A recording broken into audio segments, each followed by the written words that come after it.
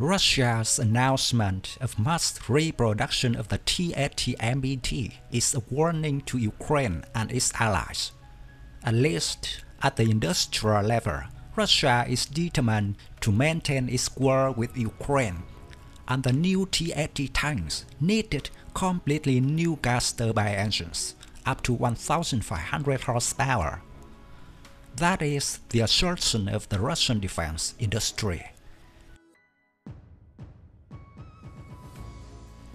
Russian media recently published information saying that the country plans to revive the gas turbine engines used on the T-80 tank line after 30 years of stopping the production line.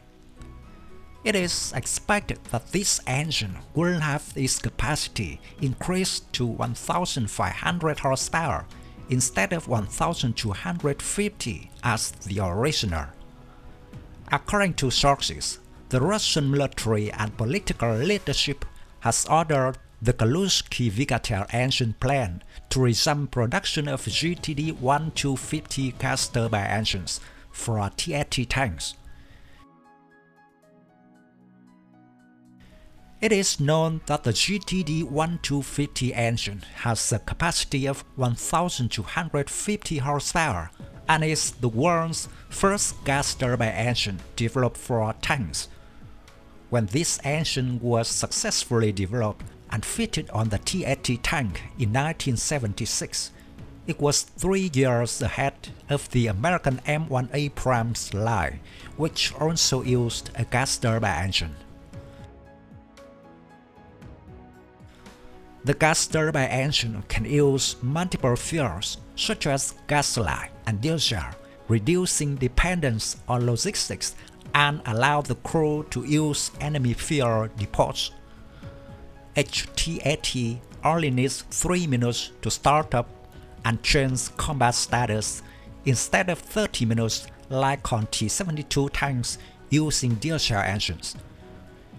Using a gas turbine engine helps the T-80 tank accelerate and overcome obstacles quite swiftly, so the T-80 is also nicknamed the flying tank. The biggest weakness of the gas turbine engines is that they consume too much fuel, many times more than T-72s using diesel engines.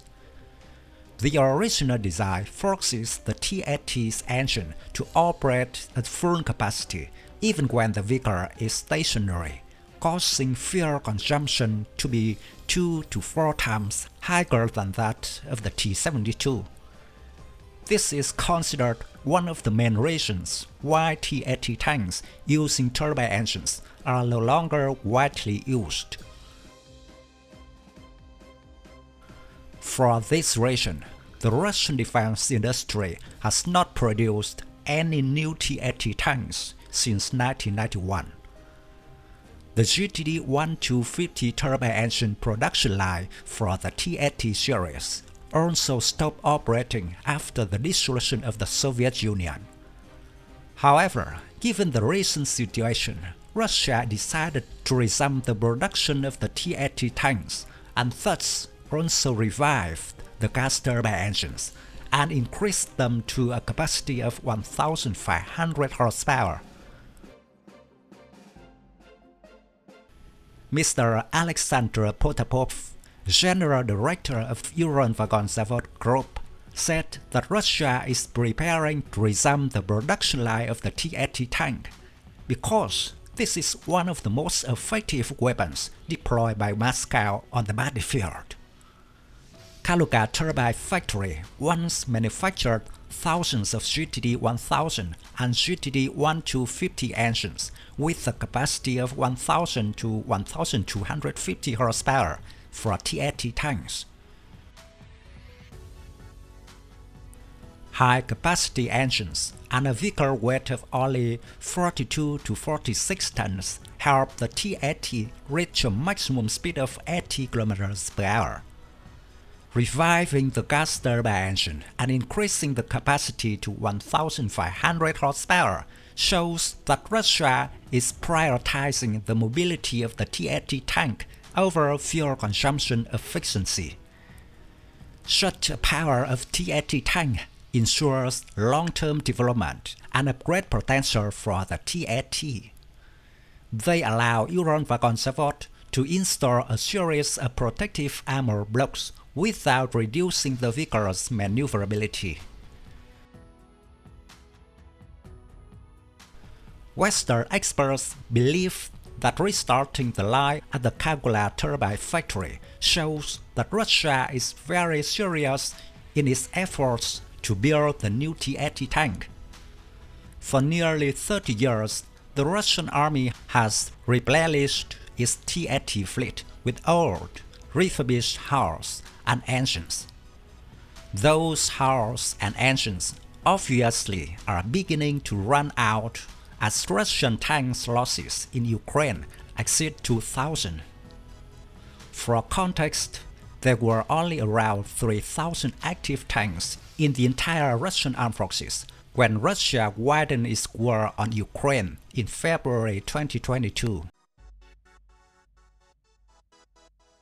The fact is that with the same power as a diesel engine, a gas turbine engine has less weight, is reliable and less noisy, and starts better at low temperatures. Since the appearance of the first T-80 tanks in 1976, they were equipped with GTD-1000T engines with a power of 1000 horsepower. From 1980 to 1986, modifications of the GTD-1000TF engines were produced for the T-80B and T-80BV tanks with a power of 1100 horsepower. Since 1986, the GTD-1250 modification for T-80U tanks with a power of 1250 horsepower went into production. This modification is now the main one and is installed on all T80 tanks. There were also GTD 1400 engines. This is the serial GTD 1250 engine with a short-term power boost to 1400 horsepower, and the GTD 1500 engine with the power of 1500 horsepower created using the last materials.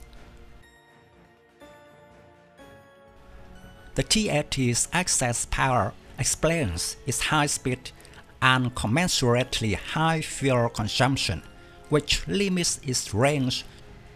The work at the Kaluga turbine plant is a strong indication the Russians are serious about building new tanks. It won't happen fast, of course, but it doesn't have to. It could take months or even a year or more for Ural-Vagonzavod fully to tool up for a run of fresh, upgraded T-80s.